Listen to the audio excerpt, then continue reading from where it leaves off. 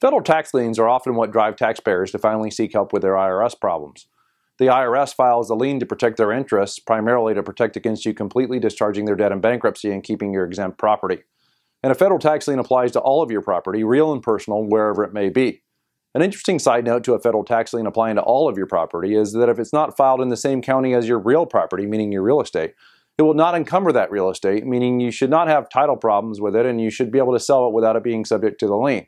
Now, nothing I say here should be construed as legal advice, and you should seek counsel before making any decision, such as selling property which may be encumbered with a federal tax lien. The primary role that a federal tax lien has is that it ruins your credit and sometimes shocks people into action to try to fix your situation. They can sometimes be withdrawn. See my video on the IRS Fresh Start Initiative for more information about that. And they are supposed to be automatically released if you pay the liability, if you have an accepted offer and compromise, or if the collection of statute of limitations expires. I can tell you from personal experience that that doesn't always happen, but sometimes the system works the way it's supposed to and the federal tax liens are released. If you file a bankruptcy and you have no equity in assets, then, the, then bankruptcy counsel can often negotiate the release of your federal tax lien as well.